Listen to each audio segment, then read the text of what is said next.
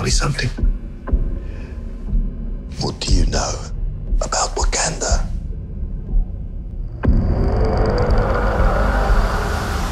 It's a third world country. Textiles, shepherds, cool outfits. All a front. Explorers have searched for it. Called it El Dorado. They looked for it in South America. But it was in I'm the only one who's seen it and made it out alive.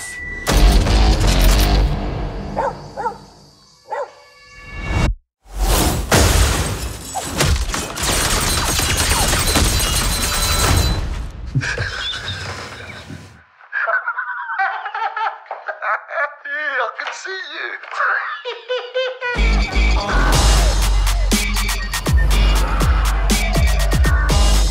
world is changing. Soon there will only be the conquered and the conquerors. Step into the spotlight. You are a good man Step into the spotlight. with a good heart. And it's hard for a good man to be a king.